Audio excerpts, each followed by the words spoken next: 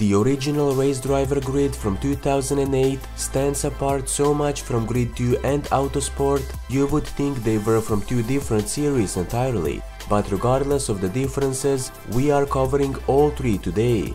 This triple feature guide will help you get the maximum FPS in Race Driver Grid 2008, Grid 2 and Grid Autosport. And now, let's see how we can boost the game to higher FPS numbers and achieve the maximum possible performance. This method works best for low-end PCs, portable systems and other devices with limited hardware resources. Otherwise, I recommend checking out my optimized PC settings guide video as it is more suitable for optimizing the overall performance rather than squeezing out every bit of performance that's left. If reaching the maximum possible performance is indeed what you are looking for, let's begin. In this video, I will use an optimization tool called LowSpecs Experience.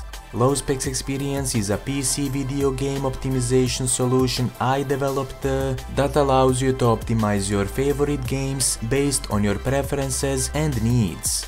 Before we begin the optimization process, download and install uh, LowSpecs Experience using the link in the video description. So first things first, start the installation process for the LowSpecs Experience.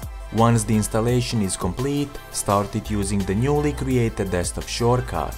Now go to the optimization catalog, select the applicable digital platform and select your game from the drop-down menu. Once done, press the Load the optimization package. LowSpecs Experience should automatically detect the game version installed on your system. If it does not, you will be asked to manually select the game installation directory. Now press OK and the optimization control panel will load.